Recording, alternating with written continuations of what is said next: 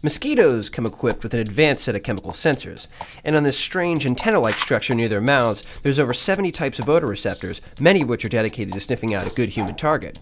Two of the major mosquito magnets are found in our breath octanol and carbon dioxide. According to a 2008 article in ACS Chemical Biology, mosquito repellents like DEET have the ability to throw a monkey wrench into the mosquito's sensory computer.